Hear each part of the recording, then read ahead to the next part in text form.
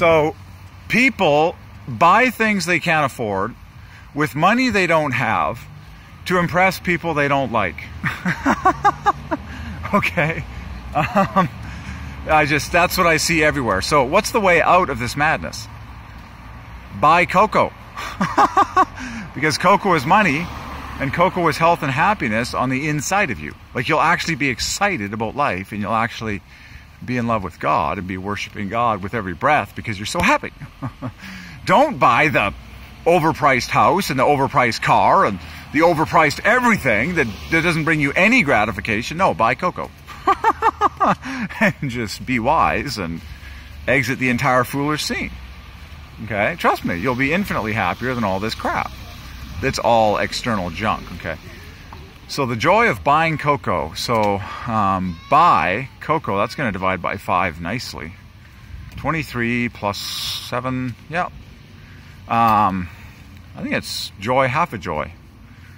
Uh, no, it's higher than that. It's 10 points higher. 23 plus, yeah, it's 10 points higher than that. Okay. The joy of buying cocoa. Oh my I'm like, it's just, it's just absolutely stupid. The longer that I live, the, the more the Lord tells me that his gift to those who love him is wisdom. Okay? As the Bible says, God gives wisdom and knowledge and joy to a man who is good in his sight. Okay? So God tells me to buy cocoa and consume cocoa and stay gluten free and dairy free, and I'm the happiest person in the world.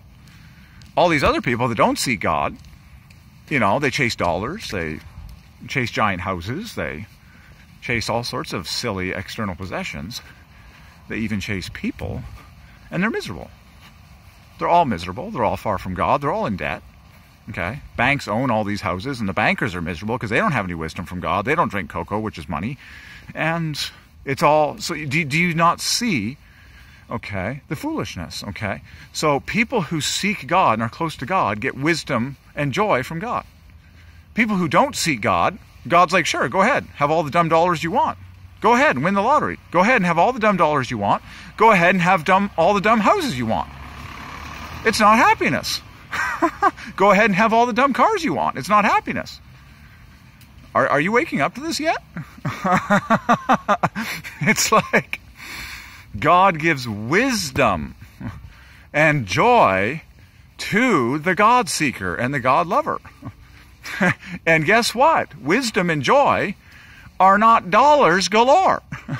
it's not housing, it's not cars, it's not any dead possession, it's not anything that is external to your human body that you cannot consume as food. wow, is, is God food actually the cat's meow, cocoa?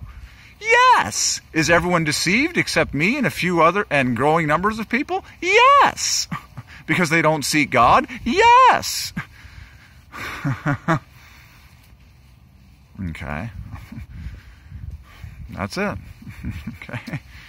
It's, yeah. It's unbelievable how many uh, dumb buildings there are in the world that no one cares about. And I could say the same thing about all cars, and all things that cannot get inside the human body. No one cares that much compared to stuff that can get inside the human body, namely the Holy Spirit of God and your God food, okay?